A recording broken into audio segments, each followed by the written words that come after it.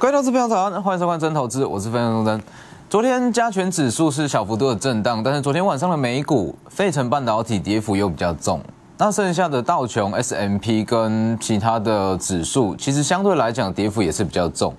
那昨天美股科技股下跌的原因，主要还是老掉牙的题材，老掉牙的利空，就是说，昨天还是因为说整个联准会它的氛围是比较偏向鹰派，所以。整体的氛围还是会担心说，接下来的经济会不会出现衰退？而且这就像我们在近期不断强调的嘛，不论说联总会接下来它升息的力道会多大，它通膨会怎么样，会不会经济衰退，其实对于台股来讲影响不大。尤其是说，其实这个时间点的台股，它的位阶相对于美股是来的比较强势，所以其实今天台股它开低难免，但是其实对于很多的好股票拉回来，它会是一个好的买点。那今天比较需要去注意的，大概就是新台币。新台币如果说持续的贬值，那可能大型股压力会比较沉重。那关于一些今天比较需要去留意的族群，那跟一些股票，那我们留到最后再来讲。那先看一下指数。其实指数就像我们在强调，昨天美国、昨天美股的下跌，主要还是因为这几个因素：通膨的问题、经济衰退的问题跟。终端需求可能会下滑的问题，那这些的问题其实就像我们讲的嘛，这几项问题从来不是我们在现阶段要去买股票最大的理由，就是说这个时间点我们去买股票跟这些因素完全不相干。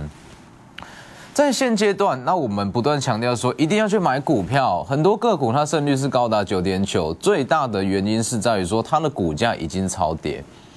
因为有上半年失去的下跌，才会有现在失去的股价。有失去的股价，它就会有九点九成的胜率。所以其实昨天美股的下跌，它最大的原因还是就是一些老掉牙的利空嘛，通膨啦、升息啦、经济衰退。但其实这些因素，很多的股票它在上半年早就反映过。那既然已经反映过，这个时间点拉回来，它不过就是新的买点。所以你看。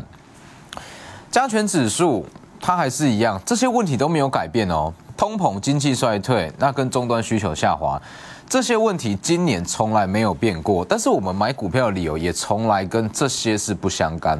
我们买股票的理由，股价已经过度便宜，就是说很多的股票它在上半年早就已经跌破它最基本的价值。那跌破最基本的价值，就像我讲的，就算它今年的产业再怎么差。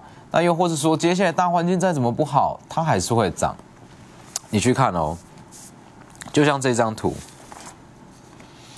这张图我们近期一直在强调嘛，股价胜率跟基本价值三者之间的关系，每一间公司一定有它最基础的价值存在。那只要说股价低于它最基本的价值，胜率就是九点九成。就是说，每一间公司它就像是一项商品。那每一项商品，它有它最低最低的门槛，就像一台 iPhone，一台 iPhone 它一定有它最基础的价值在。你说，就算一台 iPhone 五，它卖个两千元、三千元，它一定卖也卖得出去，因为就是已经低于它最基本的价值。所以其实，就算说美股在这几天，就是说它的整体的格局不是说太好，但是对于台股来讲，对于很多已经抄底的好股票来讲。它不过就是新多了新一次的买点，包含像是本周一的康普，包含像是本周一的世新、同心店，这些其实都可以证明这件事。所以其实说为什么会说只要低于基本价值，它想不赢都很难，它的股价一定会涨。其实群创跟友达，它就是一个最好的例子。那你去看哦，三四八一的群创。三四八一的群创跟二四零九的友达，那近期我们一直在强调嘛，其实从从群创跟友达的例子，你会知道这个时间点其实股价够便宜，它不需要任何的利多，一定会涨上去。群创跟友达是两档在今年注定要亏损的股股票，它凭什么会涨？因为就是够便宜。来，你去看哦，二四零九的友达。二四零九的友达净值大约是二十三，昨天收盘价大约是十六点七五，十六元上下。那净值二十三，十六元上下的股价，它的股价净值比是零点六，零点六倍。对于说景气循环股，我们要去看的评价是用股价净值比来看。那股价净值比合理来讲，一档说合理的景气循环股至少也要一倍，但是它只有零点六倍，只有零点六倍就代表说它已经明显超过它低于它最基本的价值在，包含群创也是三四八一的群创。三四八一的群创净值目前净值大约是二十七左右，那股价大约是在十二元上下，股价净值比零点四，零点四，一间合理的公司股价净值比一倍，绝对是不为过。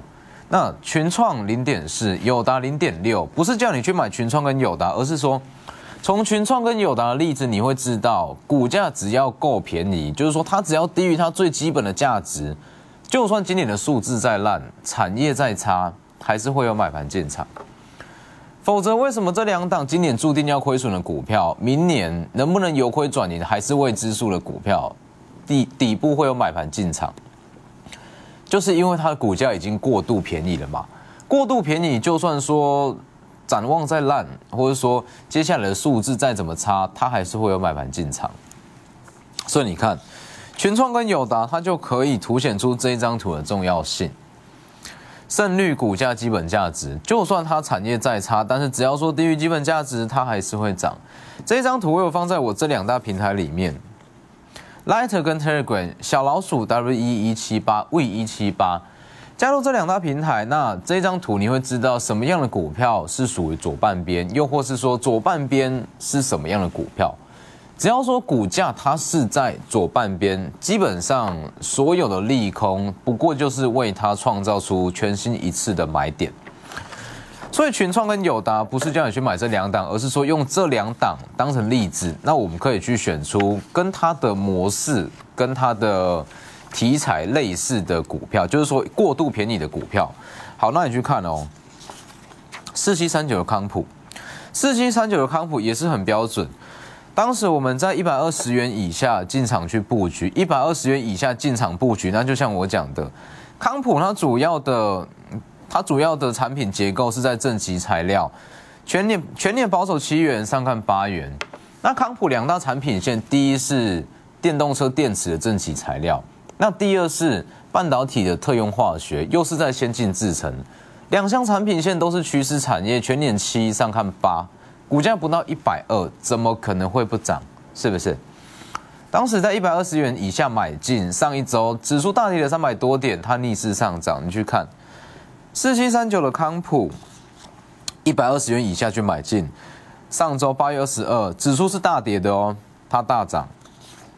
那你去看上周从一百二一一路到一百三十八点五，上周指数在跌，它上涨；指数不跌，它还是涨。因为它是左半边的股票，这一段十五趴，那你去看，就像我说的嘛，因为说康普它是属于左半边的股票，所以每一次全新的利空下来，对于它来讲不会有任何的改变，唯一的改变不过就是为它创造出全新一次的买点而已。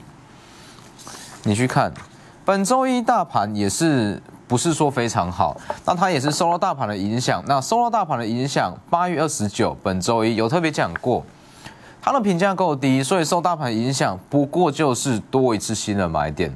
本周一买进，昨天又大涨了四趴左右，最高到了一百三十四元，一百二到这一段赚一段。本周一买进，昨天一百三十四，又是七到八趴的获利。所以这其实就是我在近期不断强调，很多人会去担心说联储会九月份会升息几码，会不会升息三码四码，又或是说会担心接下来通膨问题怎么样，会担心说美国的经济会不会衰退？那就像我讲的，通膨的问题在今年以来从来没有真正的下滑过，那美国经济会不会衰退？基本上这是肯定的，美国经济因为说。经济跟通膨这个东西，联准会它没有办法去鱼与熊掌都兼得，它为了要取得平衡，一定需要牺牲经济成长来换取通膨的下滑。那目前通膨这么高，要去压通膨，一定需要牺牲经济成长。所以这一来一回之间，美国经济一定会衰退。但是这不是重点啊！就算说九月份升息四码也好，三码也好。但是对于很多的好股票来讲，它就是跌破最基本的价值嘛。跌破最基本的价值，不论说外在环境怎么变，它都还是要涨。就像群创跟友达两党，说要数字没数字，要产业没产业，要展望也没展望，为什么底部会有买盘？因为就是过度便宜。所以康普它也是一个很好的例子。每一间公司都有它最基本的价值在，只要股价够便宜，想不赢都很难。那包含像是玉金光也是三四零六的玉金光，玉金光我们在八月十一号有特别讲过，镜头的需求逐渐回温，全年二十元起跳，这个位置当天有讲嘛？八月十一号不到四百五十元的股价都是很便宜的价位。那等到它拉回到月线附近，我们在一四百一上下进场进进场去做布局。八月三十号，本周二上涨到了四百四十一点五元。那昨天四百五十一这个位置讲四百一进场布局，昨天拉到了四百五十一元，很轻松，又是一根涨停板入袋。这就是我说的，其实它只要低于它最基本的价值，你不用管外在环境怎么变。它就是会涨，而且不需要任何的利多，因为最便，因为太过便宜就是它最大的利多。那像玉金光也是，玉金光当时有讲过嘛，全年最保守的 EPS 可以到二十元。好，那如果说今年 iPhone 十四销量好，它最好可以到二十五元到三十元。那玉金光本来在高阶镜头厂，它的市占率就有一定的水准在。那有一定的水准，在全年保守二十，最好可以到三十元哦。你去看，全年保守二十元，上看二十五到三十，不到四百五十元的股价，怎么可能会不涨？一定涨。所以当它拉回到四百一进场布局，昨天拉到四百五十一元，又是一根涨停板，轻松入袋。所以这其实就是说，左半边的股票，我们只要针对。针对这些左半边的股票进场买进个股的胜率真的是高达九点九成，不夸张哦，真的不夸张。四百五十元以下的玉金光，包含像是一百二以下的康普，那还有像是同心店也是。影像感测的黑马股，八月二十三，我们在前一周上上周预告的嘛，主要的客户是德州仪器、易发办跟科瑞，全部都是趋势产业。全年保守十九元，上看二十元，股价不到两百。当时我们买的时候，股价不到两百，这就是六二七一的同心店，两百元以下进场布局。八月三十号，昨本周二拉到了两百一十六点五。昨天小幅震荡，相对还是强势，两百元以下买进，这个位置都是获利的状态。就是说，同心店它主要的客户群都是一些趋势性的大股票。包含科瑞、易发办这些，那重点是说全年最保守 EPS 是十九元，那上看可以到二十元以上，股价不到两百元，等于是说一档趋势成长股，那它的本益比是不到十倍，怎么可能会不涨？它不需要任何的利多，它一定涨，因为它就是过度便宜，这就是左半边的股票。那你去看同心店，它也是很标准啊，这个位置。本周一受大盘影响，小幅度拉回，那拉回什么都没有变，唯一的改变就是多了一次买点，买进之后，昨天还是相对强势，是不是？所以其实在这个时间点，很多人会担心说，今天大盘开盘，那会不会又出现震荡？会不会已经准备要站？昨天站上了万五，今天会不会又跌破？那我觉得说这些都不是重点，因为在现阶段，那我不断强调。你一定要去买股票，最大最大的理由从来都不是经济已经好转，也不是通膨已经结束，也不是联储会不会升息，而是说很多的股票已经低于它最基本的价值。低于基本价值，就是说它不会受到大环境的影响，也不需要任何的利多，它自然会涨上去。所以今天我们一样会针对这类型在左半边的股票下去进场做布局。已经低于基本价值的股票，如果说今天指数震荡小幅度拉回来，它不过就是多了一次全新的买点。那在今天我们可能会进场布局的标的，预计会是一档跟 Mini LED 比较相关的股票，因为耐创科技的挂牌，那它会把整个 Mini LED 再带起来，所以把握机会，利用广告时间先来电。利用盘中时间来电。那我们今天收盘以前，马上去带你买进全新的黑马股。先进这段广告。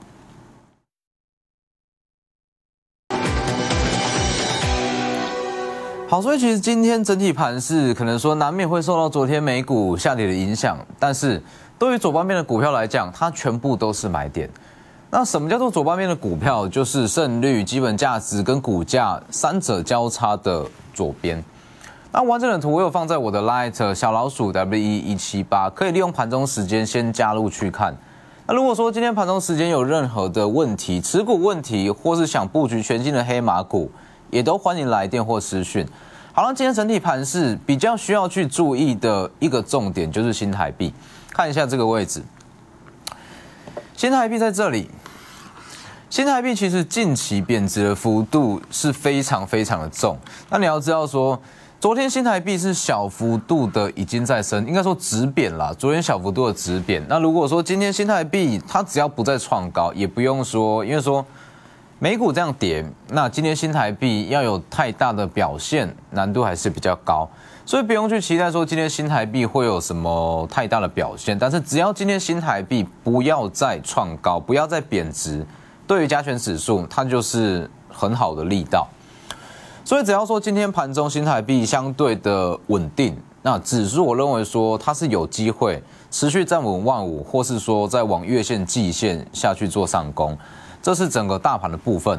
那如果说以族群来讲，今天最需要去留意的大概就是两个重点：第一是元宇宙，第二就是升级类股。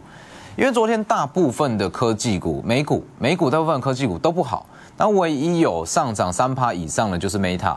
那 Meta 联动性最高的当然就是元宇宙。所以今天包含像是宏达电、威盛、位数，就有机会相对来讲是比较强。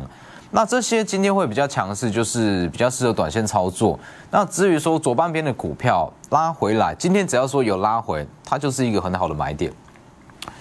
所以你去看一下，今天包含像是宏达电这个位置，它今天是有机会转强上去。宏达电跟威盛，昨天涨停板的威盛，今天我认为说它是有机会再持续去挑战它的前高。这一块就很适合去做短线操作，但是如果说今天最好的买点跟布局的一些个股，绝对还是左半边已经低于基本价值的股票，有拉回，它就是一个新的买点。